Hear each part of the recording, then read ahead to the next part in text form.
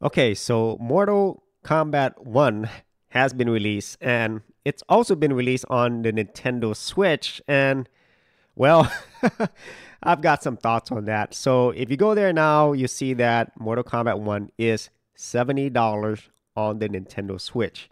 And for other platforms, it's the same price. So here's the PlayStation 5, 70 bucks. And then here's the Xbox version, which is also $70. And there's also a more premium versions you could buy as well. But that's not what we're talking about. We're talking about the Nintendo Switch being the same price as the other platforms.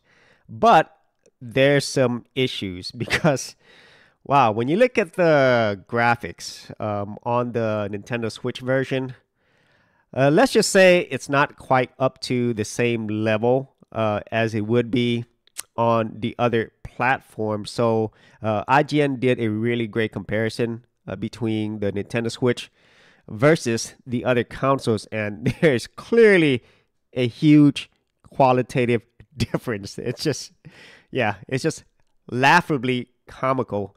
And the thing is, I don't really blame that too much on the hardware per se, because if you didn't know, the Nintendo Switch hardware is based upon the same hardware that's used by like streaming boxes, like the NVIDIA Shield, which is what I have. So that is a Tegra 1 uh, processor. So it's definitely old and it's definitely way underpowered whenever you compare it to you know these more modern systems and so that's something that i definitely understand but then at the same time you know we have seen really amazing looking games on the nintendo switch you know like the zelda games mario games and many others that really do way better graphically than what we see here in mortal kombat.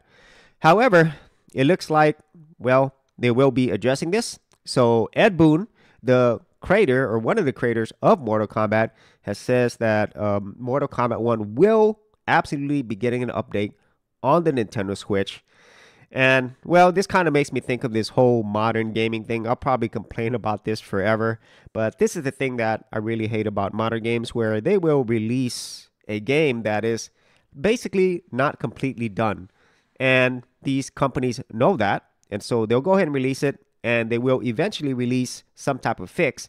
However, when they release the fix, I think is really dependent upon the reception by the audience. And so, in my opinion, I don't think as many people would actually complain about this if the graphics were okay. But if they're bad, obviously there's going to be more complaints. And because of more of this complaints, that's going to hurt sales early on. And so in that case, companies will probably have to respond and release these fixes sooner, or at least say that they're going to do something about it, even though they knew all along that this is a problem and they released a game that was basically unfinished. So if you actually had any thoughts on this, be sure to leave in the comments area below. And if you did want to see more of my retro gaming videos or gaming news videos, I do have playlists for that. I'll leave it in the description area below. For serious YouTubers, check out TubeBuddy, the premier tool news at geekoutdoors.com. Get more done today by checking out the affiliate link in the description area below.